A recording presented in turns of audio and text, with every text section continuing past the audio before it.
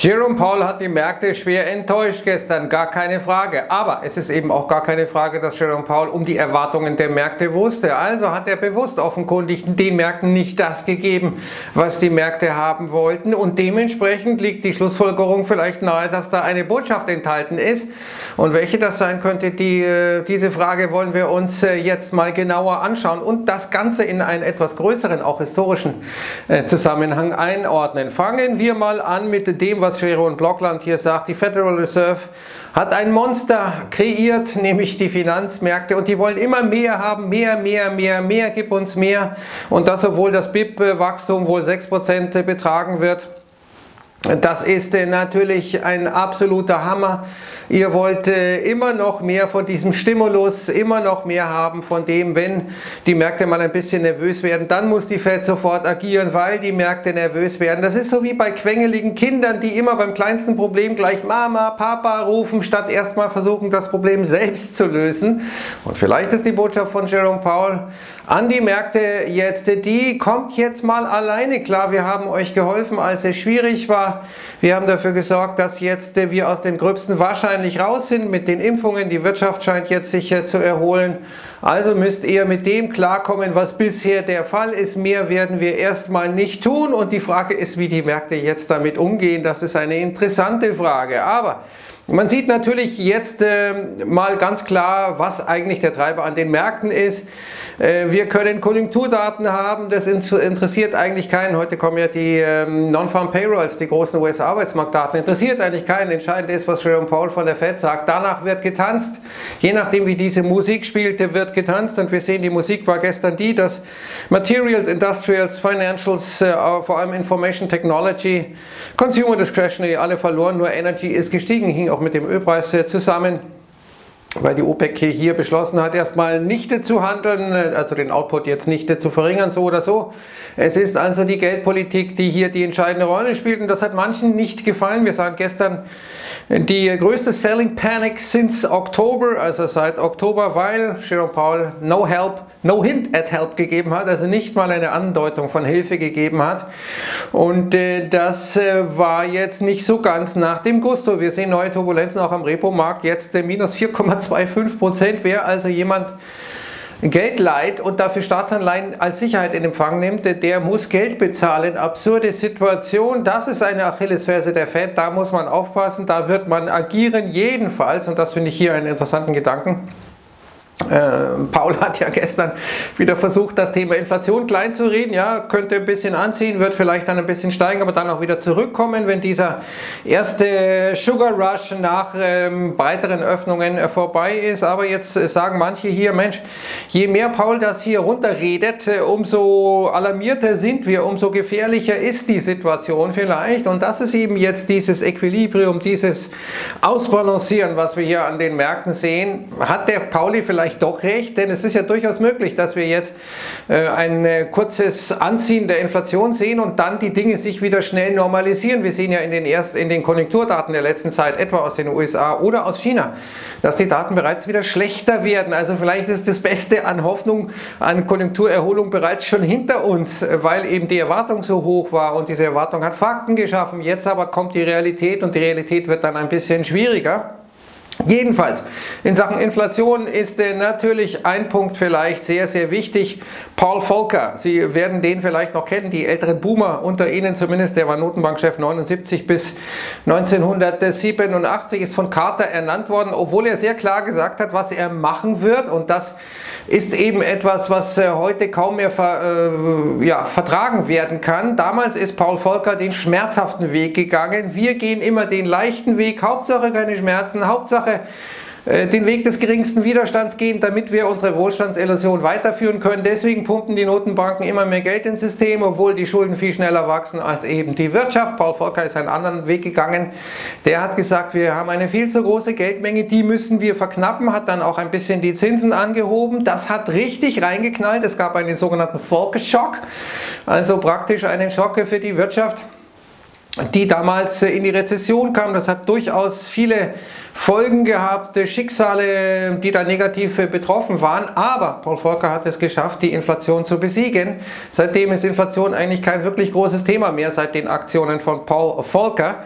Und äh, vor allem ist eins interessant, Volker hat äh, damals äh, gesagt, okay, die Wirtschaft wird eh jetzt in die Rezession gleiten, das hat sich damals angedeutet, also kann ich jetzt gleichzeitig eine Geldpolitik machen, die das Ganze noch ein bisschen härter macht, aber vor allem äh, drohte damals eine Situation, die vielleicht diesmal auch drohen kann, denn damals war es so, dass die Firmen begannen, weil die Inflation so stark war, Personal abzubauen. Denn das teuerste in einer Firma ist normalerweise Personal, also sind die Menschen, die Mitarbeiter. Gut, es gibt Firmen, wo fast nur Maschinen sind und äh, wenige Menschen, äh, Humanite da noch eine Rolle spielen, aber damals haben die Firmen jedenfalls äh, begonnen, Personal abzubauen, weil die Kosten aus dem Ruder liefen. Da hat sich Paul, äh, Volker gesagt, okay, dann muss ich die Inflation in den Griff kriegen, damit das nicht passiert, weil sonst kriege ich das nicht mehr zurückgedreht, dass die Firmen Leute entlassen, wenn eben die Löhne zu stark anziehen und dann eben der Kostenfaktor Mensch abgebaut werden muss. Und er hatte Erfolg damit, auch wenn die Schmerzen groß waren. Wir sind nicht bereit, diese Schmerzen zu haben. Vielleicht hat Paul gestern gesagt, na, ein bisschen Schmerz könnte schon mal sein. Und jemand, der wirklich äh, die Dinge so klar auf den Punkt gebracht hat, vor knapp einem Jahr hat Richard Fisher, ehemaliger Chef der Dallas Fed, der war da von 2005 bis 2015 Fed-Chef äh, des Distrikts Dallas, der gesagt hat, ja, jedes Mal, wenn die Märkte nervös werden, wollen sie, dass wir ihnen neues monetäres Kokain geben. Das kann doch nicht sein.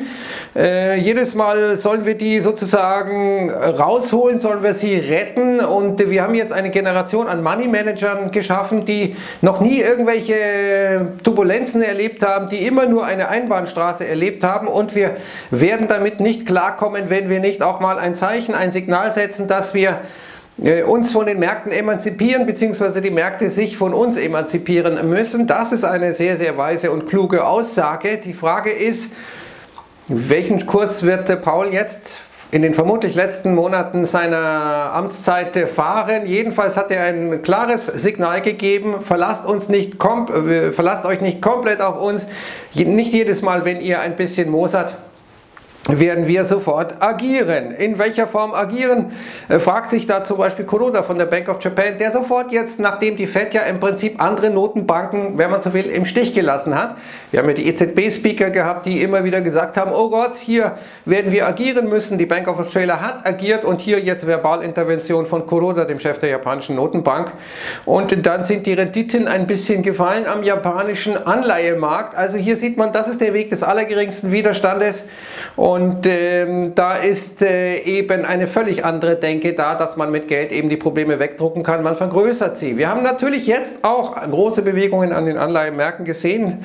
Die Renditen sind äh, um weit über 100 Prozent gestiegen. Wir waren ja bei äh, 0,51 Prozent, glaube ich, im Tief der Corona-Krise und sind jetzt deutlich über 1,5 Prozent. Das ist schon eine große Bewegung. 131 äh, Prozent in 45 äh, Wochen, okay. Aber vor allem, was jetzt der Fall ist, man hat ja auch äh, gehofft, dass hier bestimmte ähm, Fortsetzungen kommen dieses Vehicles, das ich gestern beschrieben hatte, dass den Banken letztendlich äh, hier die SLR Extension, dass den Banken letztendlich ähm, erlaubt, weniger Eigenkapital hinterlegen zu müssen, damit die Liquiditätssituation verbessert hat. Das ist gestern nicht gekommen und wir sehen die Reaktion beim australischen Dollar, New Zealand Dollar, also alles, was sozusagen ein bisschen äh, spekulativer unterwegs ist. Das hat gelitten und jetzt ist die Situation, dass wir jetzt eben die Blackout Period haben. Das heißt, bis zur FED-Sitzung, die stattfinden wird am 16. 17. März, wird sich kein Fed-Speaker mehr äußern können, dürfen, denn äh, kurz vor den FED-Sitzungen, also in knapp zwei Wochen, ist äh, das verboten. Das heißt, wir werden jetzt auch keine verbale Unterstützung mehr seitens der Fed bekommen. Jetzt nochmal zur Erklärung, es gab äh, hier auf YouTube äh, fragen, ja, was ist eigentlich der Unterschied zwischen Operation Twist und Yield Curve Control? Operation Twist bedeutet einfach nur einen Austausch von Anleihen. Ich verkaufe die kürzer laufenden und kaufe die länger laufenden. Als Fed jetzt hier, um die Renditen der länger laufenden Anleihen zu drücken. Bilanziell ist das praktisch egal, respektive was die Bilanzsumme betrifft, denn die verändert sich nicht. Ich verkaufe das eine und kaufe das andere. Ganz anders ist es bei der Yield Curve Control. Da sage ich, okay, hier ist die Grenze für die Rendite zum Beispiel der 10-jährigen Anleihe bei, sagen wir mal, 1,6 Prozent. Und ich werde alles tun, damit das so bleibt. So wie einst die Schweizer Nationalbank, die den Euro Franken bei 1,20 deckeln wollte und dann immer Franken verkauft hat und Euro gekauft hat, um eben diese 1,20 halten zu können, um die Aufwertung des Franken damals zu verhindern. Aber die SNB ist gescheitert, musste das dann aufgeben. Das hat vielen sehr wehgetan, die hier in diese Richtung spekuliert hatten. Warum? Weil man natürlich Risiken akkumuliert, weil man immer mehr Euros äh, sozusagen sich hier in die Bilanz genommen hat. Und die Risiken für die Fed sind ganz enorm, denn im Grunde heißt Yield Curve Control, egal was passiert, wir werden kaufen. Das heißt, derzeit das Quantitative Easing der Fed immer 120 Milliarden Dollar im Monat, egal was passiert. Während Yield Curve Control heißt, das kann total ausufern, das kann in der Bilanzsumme eine Explosion nach oben geben, weil man ja garantiert, wir äh, haben hier diese Grenze und da soll es nicht drüber gehen, wir kaufen äh, und kaufen und kaufen und kaufen. Und dementsprechend, und das sieht man jetzt schon in der Fettbilanz, äh, vielleicht ein, ein wichtiger Aspekt, sind die Notenbanken natürlich in einem extremen Risiko. Wir sehen jetzt, dass die, zum Beispiel die Fettbilanz jetzt in der letzten Woche um 32 Milliarden Dollar geschrumpft ist. Warum? Weil eben durch den Anstieg der Renditen die Kurse der Anleihen gefallen sind und faktisch die Fed dadurch Schmerzen erlitten hat, Verluste erlitten hat. Und wenn das Ganze so weitergeht, dann wäre das natürlich noch ein ganz anderes Problem. Äh, das ist äh, eben auch der Grund, warum die Bundesbank zum Beispiel Rückstellungen jetzt gemacht hat für den Fall, dass die Renditen weiter steigen, dann also die Kurse fallen und die Notenbanken kaufen ja die Anleihen, kaufen also zu einem bestimmten Kurs und hätten dann eben diese Verluste. Kommen wir zu den Märkten, meine Damen und Herren. Wir sehen jetzt den Nasdaq richtig unter Druck, zwei Standardabweichungen unter dem 50-Tages-Durchschnitt. Wir sind also ein Stück weit überverkauft. Wir sehen den RSI jetzt so überverkauft wie seit dem März-Crash nicht mehr. Also da ist einiges passiert und äh, genau das hat der Henrik Becker bei Finanzmarktwelt und in seinem äh, Börsenbrief Tsunami schon äh, angedeutet. Becker hat damals gesagt, ja, wir werden jetzt äh, auf 2300 fallen. Äh, beim Nasdaq 100, äh, er hat da als Sachse eine besonders interessante Formulierung, der Index wird sich fallen lassen müssen. So formuliert es Henrik Becker sehr gerne, ganz großartige Finanzpoesie. Jedenfalls äh, ist das sozusagen jetzt ähm, der Punkt 2300 beim Nasdaq 100, die heute Nacht schon wieder auf Future-Basis nochmal gehalten hat.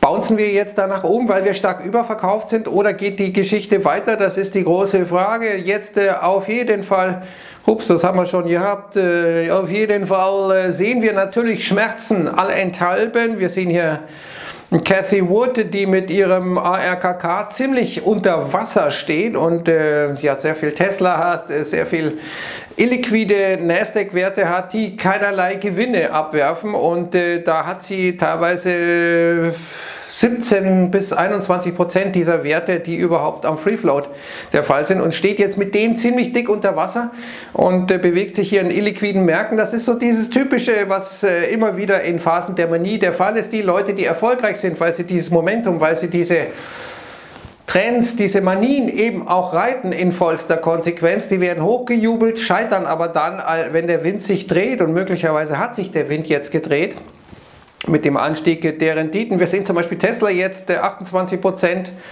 äh, tiefer als zu dem Zeitpunkt, äh, als äh, Elon Musk bekannt gegeben hat, dass man äh, Bitcoin gekauft hat. Wir sehen hier den AKK von äh, Cathy Wood hier im unteren Chartbereich auch schon 28% tiefer. Und wir sehen, dass die Fangman-Aktien, also Facebook, Apple und Konsorten, sind jetzt 700 Milliarden Dollar von ihrem Februar hochgefallen. Das ist äh, das, was die gesamte Marktkapitalisierung von Italien betrifft. Ja gut, jetzt werden manche sagen, ohne Italien ist ja nicht schlimm. Ne? Aber gut, das ist jetzt mehr dann ein äh, geldpolitisches Argument, ja, wären wir vielleicht besser dran, wenn es Italien nicht gäbe. In Sachen Kultur wären wir deutlich schlechter dran, das ist einmal klar. Jedenfalls äh, ist da durchaus äh, einiges äh, passiert. Wir sehen bei SPACs, bei diesen Börsenmänteln, eine Manie ohne gleichen Jahr vorher, dass wir jetzt äh, bei einem so Index, der diese SPACs äh, so ein bisschen trackt, 20% tiefer sind. Wir sehen die IPO-Werte ähnlich unter Druck. Also da ist schon was passiert und bei diesen Specs, da sehen wir eine absolute Manie. Da dürfte schon jetzt im März äh, diesen Jahres das gesamte Volumen erreicht werden, das wir im gesamten Jahr 2020 hatten.